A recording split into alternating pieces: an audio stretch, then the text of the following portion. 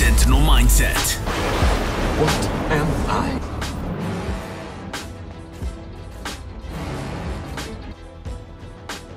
Can robots replace the roles of security? Now, we're in a new wave right now of technology. We've had all these new things introduced to us. ChatGPT has been the biggest one of them has come to the table. But AI is moving at a very, very fast pace in the last two years, and it is only accelerating.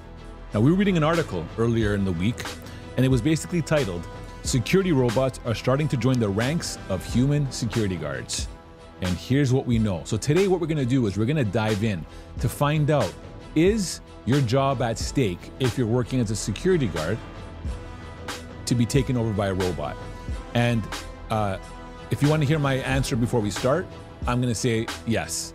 And let's dive in, okay? So, this is where the article kicks off.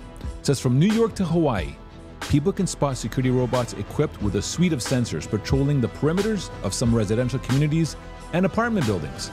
Security robots are rapidly becoming a viable complement to human security guards, sparking concerns about privacy issues and potential job losses in the security field. Now, again, what we're going to talk about today is what areas in the security industry I feel, this is my personal feeling based on what's happening right now, could end up getting completely wiped out in the years to come. Okay?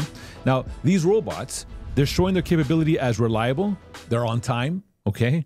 There's a lack of public data to prove it. However, experts and manufacturers say the truth strength lies in working along security officials with their advanced technologies, okay? Now, what are some things these robots can do? Okay, so maybe you know you might be thinking right now of, for example, like iRobot. You know, uh, a six foot plus, you know, skeleton frame with a with a face that talks like this. Uh, you know, you could be thinking that. You could be thinking of these little machines that look like, you know, these little square objects that are moving around. But what exactly are they doing now, these robots? Well, first of all, they have 360 degree high definition video imaging and recording. So that's their biggest, biggest move. They they have a camera system that has sensors that can detect. Okay, they can detect license plates. They have signal detection in mobile devices. Uh, they're projecting and recording two-way audio. They can detect motion and physical objects, environmental detection, weather, um, and they can obviously navigate through hazardous environments. The thing is, these robots can operate 24 7 and they excel in the repetitive aspects of the job, like sitting at a post or walking or a set route. Now, robots allow humans to perform hands on tasks that require empathy and sympathy. This is where they will lack. But let's just dissect this right now for a little bit.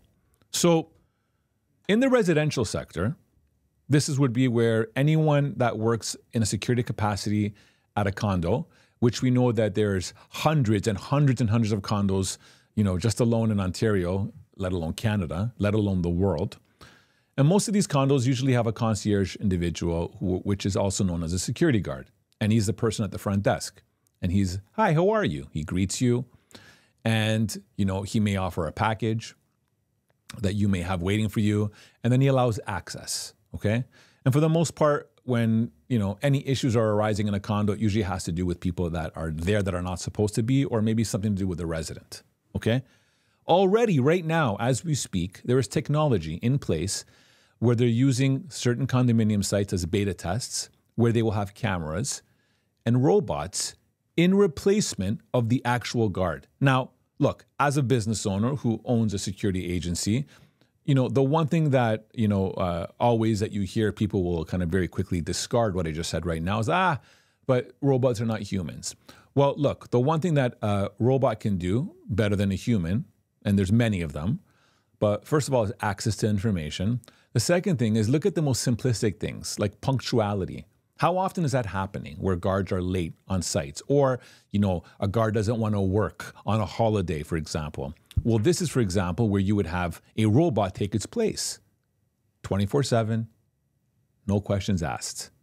And the investment to a lot of these robots are high at the top end. But really, what will happen here is over time, jobs like that, what involves access, are going to disappear. And it may not happen right away, but it's starting to happen. So when you hear about job losses, this is one area that I personally feel 100% will take over. Now, the, the other thing the, the, the article mentions about robots having empathy, This is huge. There's also law enforcement right now in certain states that are testing out technology. Have you guys heard of Boston Dynamics? These guys are building robots. They can build dogs. They can build anything at all that mimics the real life movement of a dog. The one thing that they lack, obviously, is emotional intelligence, which comes very large into play when you're dealing with people. But when we're talking about can it be the replaced, absolutely. And, you know, a part of the article here now that's going to kind of counter what I just said because people are trying to not create commotion is like they're not going to be replacing security guards. The article states, and a guy named John Hazard, he says a loss prevention security expert with Robson Forensic, he says the greatest strength of security robots is their ability to serve as a highly customizable extension to an existing security system. And one would assume they're not entry level products. So if someone buys these, they already have a pretty good camera system that they are optimizing reasonably, he says. And that it also extends that it makes the camera system more valuable. Okay, great. Where are other places that you see robot technology right now or AI technology being used? Look at your grocery stores. Grocery stores now have complimentary checkouts that you do your own checkout right? Meaning, as in, there's nobody there to help you. You go in, you scan your own thing, you pay your dollars, and you leave. Yeah, that's an example of something being complemented. But look, at the end of the day, when you look at a bottom line of something, if something is going to save you money over time, something is going to be very efficient and do something better than a human. These are things that can kind of really come into play. And the reason why this is something that I think a lot of security agencies as a whole need to really pay attention to is because if you're going to be putting out a crap product, which many, many do, okay? They put out unqualified individuals that they pay them completely minimum wage because they bid so low on the contract and they're not really providing security. If you are those companies, and there's a lot of them out there, you are someone that is playing with the idea and the concept that you're going to be getting replaced by a robot. And that is that is in a lot of these settings. Robots are taking a lot of movements and advancements. And that's why it's not far off to say this. There was an article the other day that I was looking at was showing all these movies over time. Movies like Demolition Man, who came out in 1996. And in 1996, they were referencing scenes in 2029. We are six years away from 2029.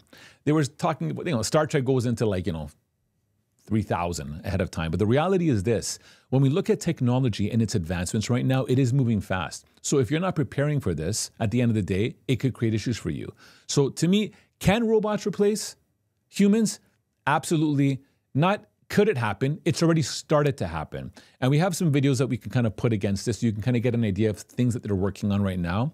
But the bottom line is if you want to stay safe in this environment, you need to make sure that you're coming in at the highest caliber to demonstrate worth to showcase that if something comes in, no, here's everything else, here's the positives. If you're think about this, if you're if you're a security guard working in, in a concierge setting at a condo and your punctuality is garbage and your customer service skills is terrible and you're just not there and sometimes you sleep at night and all the negative uh, you know um, you know acts that come in with someone that's not competent if those are happening, and it happens, by the way, on a regular basis, it'd be very easy for me to take that weight and say, I might as well just invest and maybe take a hit for the first three to five years.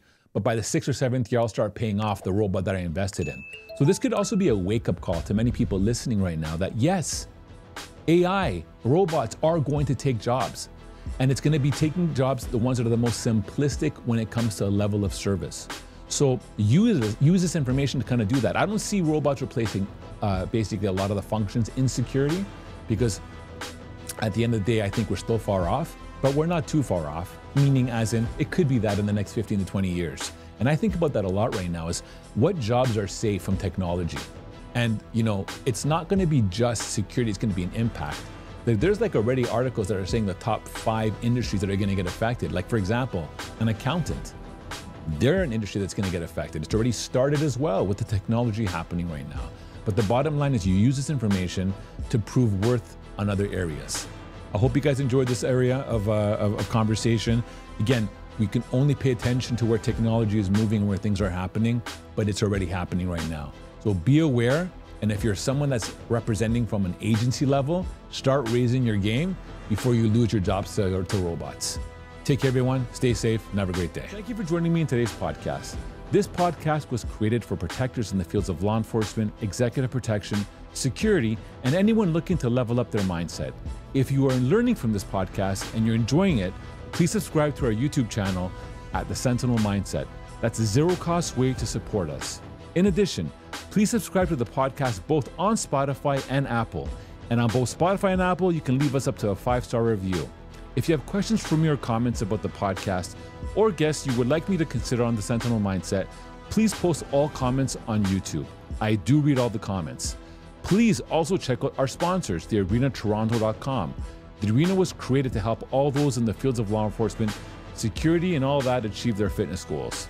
I want to thank our producer Matthew Doyle and creative supports Jaslene Singh, who help me with this podcast every week. We value your feedback and are here to support you. Tune into the Sentinel Mindset every week where we look in the mirror to make real changes and explore what it takes to achieve greatness in your craft. This podcast is brought to you by Executive Protection Lifestyle Canada. Make sure to drop by next week and don't forget to subscribe.